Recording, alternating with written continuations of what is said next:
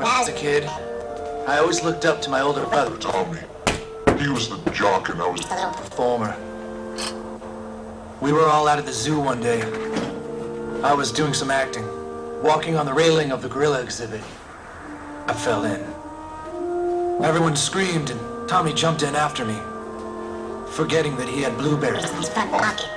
The gorillas just Just went wild. they jumped all over his body. Threw him around like a rag doll to get to those blueberries.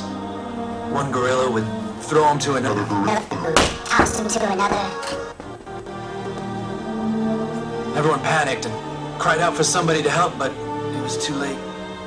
The gorillas beat him to death before the zookeepers could gas them all.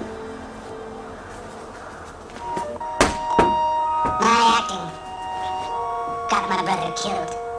I've had to live with that every single day. Gary, you can't Blame yourself for what gorillas did. I think I can finally let let it go. Because, my acting saved the entire world. and something even better happened. What? I met somebody who took my breath away.